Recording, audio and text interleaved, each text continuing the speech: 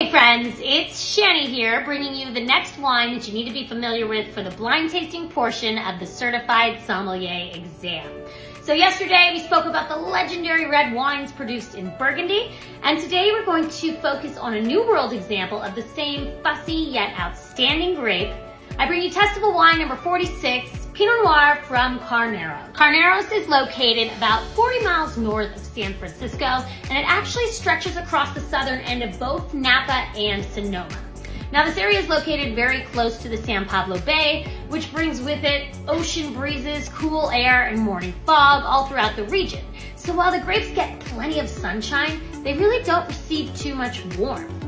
This makes for some beautifully balanced Pinot Noir. So for tonight's tasting exercise, I picked up this bottle of 2018 Pinot Noir from Domaine Carneros, which ran about $39 on wine.com. Now, I was lucky enough to visit this winery when I was in Napa last month for the marathon, and let me tell you guys that the wines as well as the views really did not disappoint.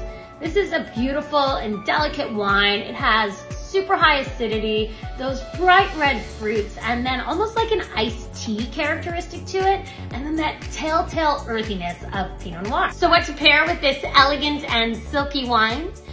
Well, it might sound like a broken record, but Pinot Noir is super food friendly, and my favorite things to pair with Pinot Noir are mushrooms and pizza. Pinot and pizza, right? So let's have a mushroom pizza and let's drink this entire bottle to finish it off.